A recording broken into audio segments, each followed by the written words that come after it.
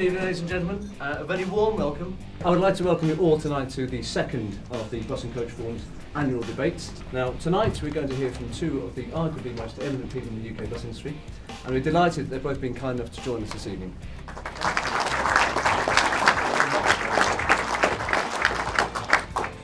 Now, in the next 20 minutes, there's going to be two broad themes to, to the observations I want to make. Firstly, we're pretty good as an industry at dealing with the big stuff, but we're not so good at dealing with detail. But I put it to you, we've got to get better at doing the detail because of a big change that is hitting us right up in our eyes now and coming towards us fast. We've got to develop commercial models for the future.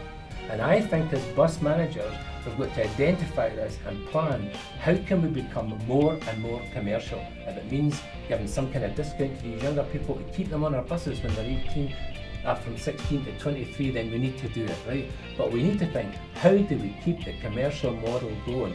And that commercial model is going to be our saving grace going forward for the future. We can price personally encourage greater use of buses for lapsed travellers, reward loyalty, entice leisure trips, suggest taking friends or families for extra trips.